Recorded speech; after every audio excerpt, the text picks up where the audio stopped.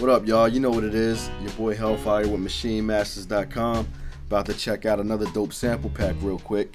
Um, today I got a sample pack by um, real talented guy named G Koop. Um, this one's called That Ain't the Way You Make Love. Um, if you don't know who G Koop is, uh, G Koop is a really talented musician who uh, specializes in interpolations. Um, interpolations are basically uh, where you take a sample um, and you basically replay um, all the instruments individually on your own. Um, it's a real uh, cost-efficient way to get around sample clearances and, uh, and, and legal things like that. Um, so that's basically what we got today. Um, it's a stem pack of a performance that uh, he put together. So we're just gonna go through it and see what we got. Um, we got a nice electric bass.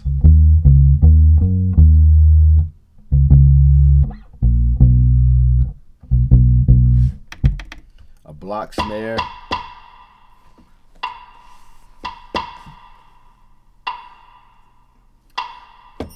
Wind chime.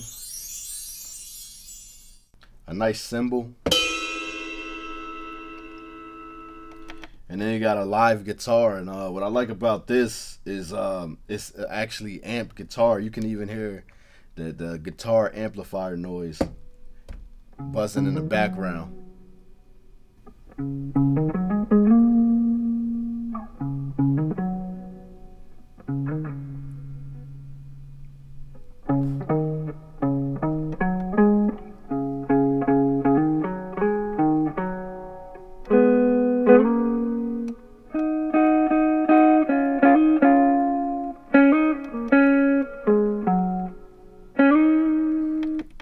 Then you got um, hi hats.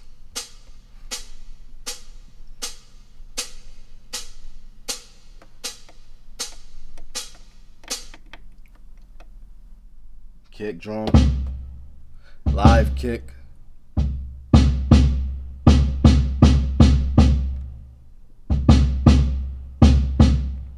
Normally, uh, I think he re- he records all this stuff in his home studio, but this kit sounds like um, it may have been recorded in a much larger studio with a bigger live room because a lot of the instruments sound, you know, um, like 100% authentic. Like this piano, you can tell you can tell this piano was mic'd up um, as they played it because you can hear the headphone noise in it.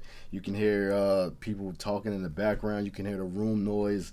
Um, it just it sounds 100% authentic.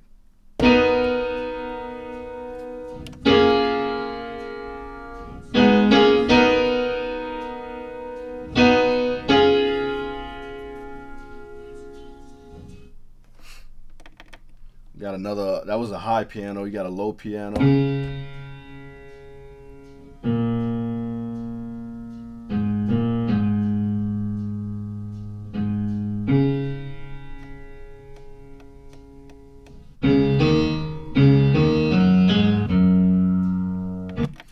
All right, and then you got a snare drum. It's like a break.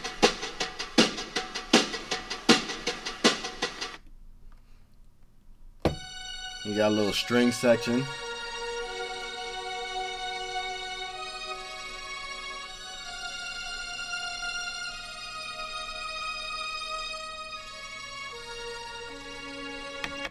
And then one of the one of my favorite parts about it is that he had vocalists come in and uh and uh sing the vocals on top of it.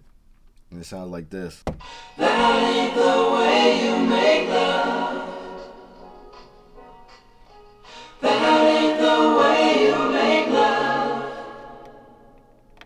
And we could just take a look at these uh at the waveforms, see see what they look like.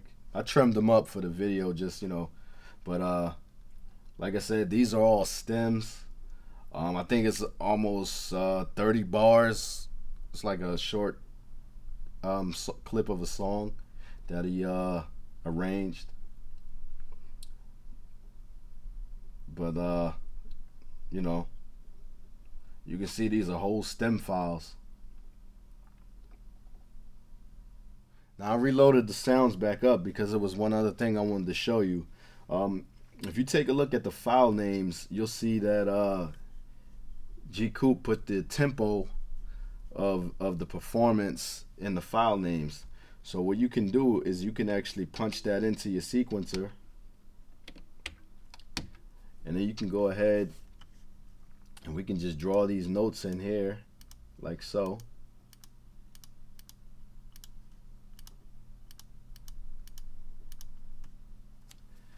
Turn my bars up. give about 26 bars, and we can just play this back. so